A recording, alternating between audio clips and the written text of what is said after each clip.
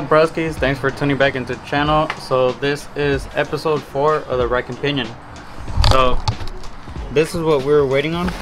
These are the hoses, and you can't just buy any ordinary uh, 6AN hose. You need to buy PTFE. You can see the nylon inside of there. So the nylon is actually for uh, high pressure.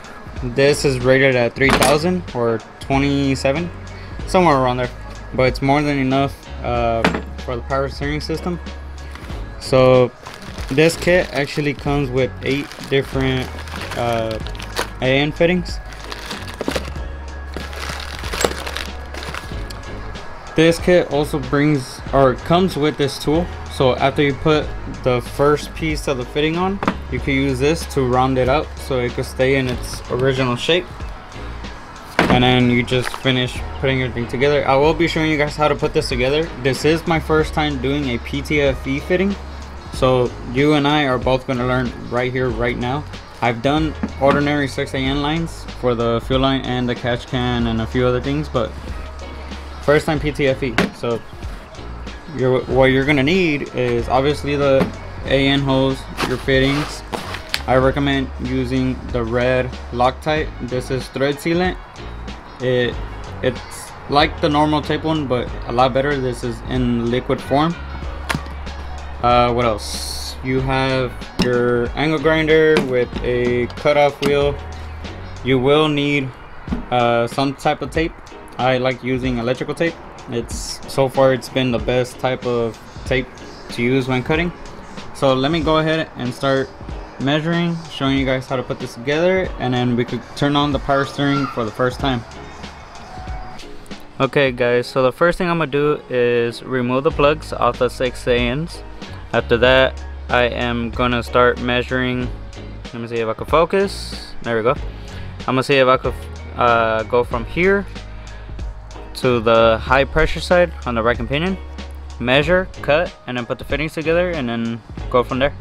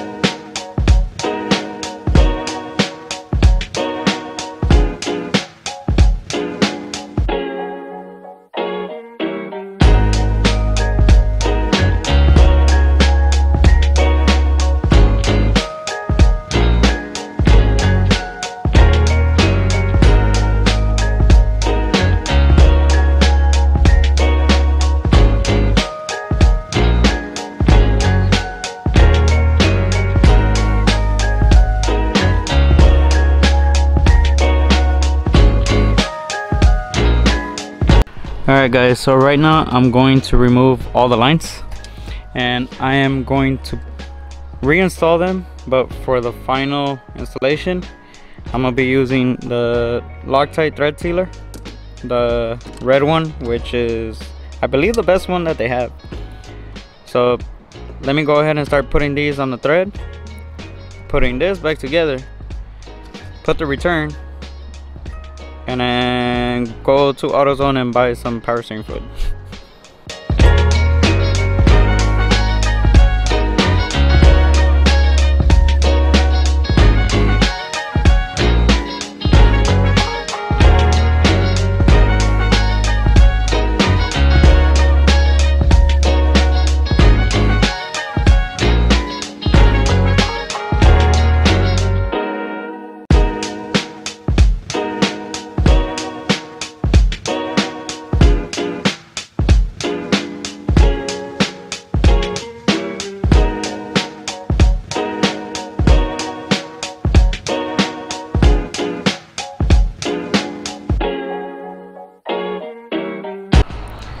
All right guys so everything is hooked up.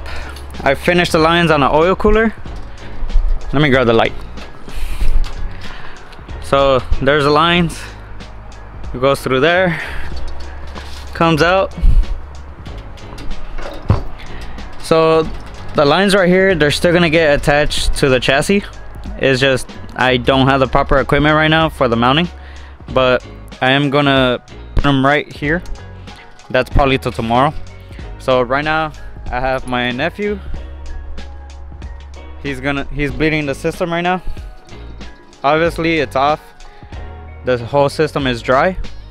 But once we feel like there's no more air, we're gonna go ahead and turn it on and then bleed it with it on.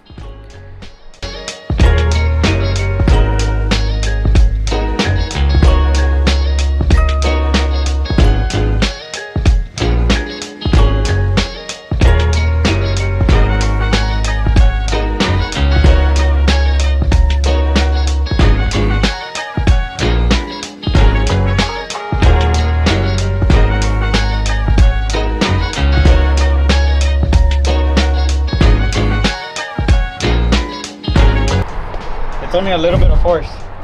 It's not turning. Mm-hmm. I push it.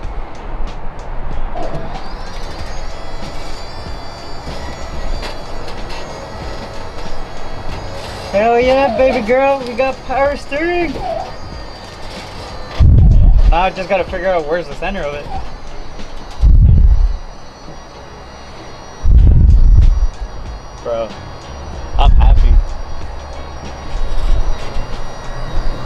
Fucking Kool-Aid smile right there. Huh? Fucking Kool-Aid smile.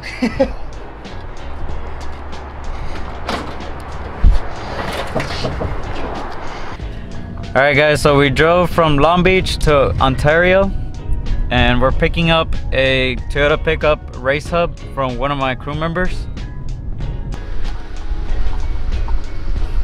So this is my crew member's truck.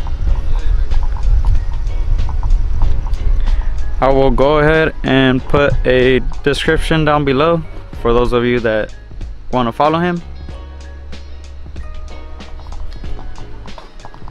Check out that banner though.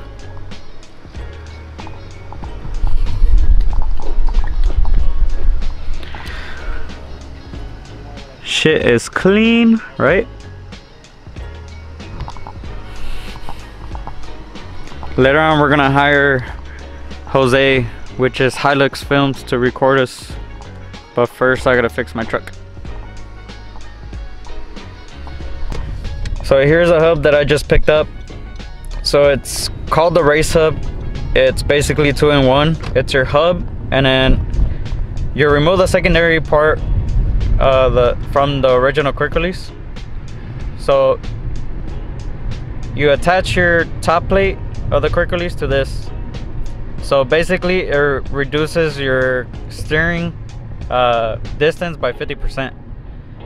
This is what I needed in order for me to drive my truck because if I drive it with the uh, OG quick release, it sits way too close to me. This is actually going to help me out a lot. I'm to show you guys early in the morning how it looks like. but yeah this shit is dope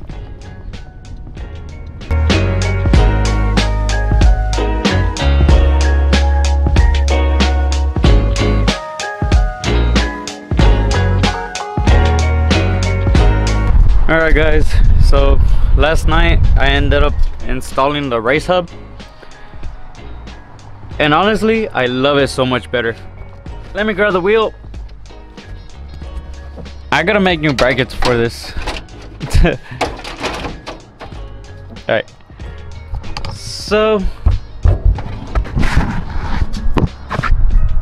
not sure if you can see or focused. Alright.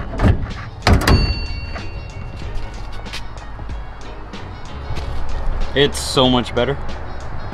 But besides that my front end is back on. Sitting real good. Let me open this up.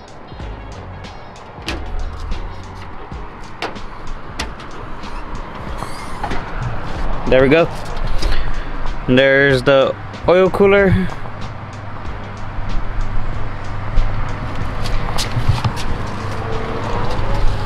there's a pump there are my lines.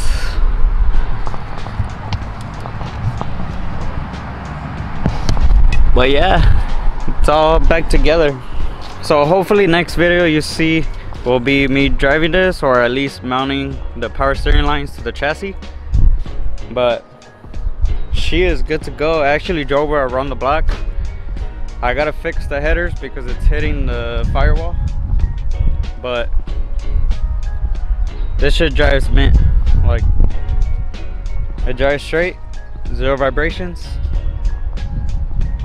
I highly recommend you guys go to stabfab.com I'll go ahead and put the link down below right here. But I definitely recommend the kit. Even if it's not direct bolt-on for the younger generation I mean the older generation like mine modify it. Uh, for those of you that are 89 through 95 it's complete bolt-on. But again I highly recommend you guys uh, check out the kit. The kit is for manual rack and pinion or power rack and pinion I'll go ahead and tag the owner of StabFab right here which is jake.stabfab on Instagram. But yeah guys uh, hope you guys liked the video. Go ahead and give a like comment down below and subscribe to the channel. And give me some feedback what you guys think uh, about the channel or about the YouTube videos that I've been doing so far. And I've been trying to pull out videos uh, on a daily basis which is kind of hard especially on quarantine but I'm trying. I really appreciate you guys and tune back onto the next video. Who knows what we'll be doing but there's a lot more videos to come. Have a nice day, stay safe, and stay protected. Latest.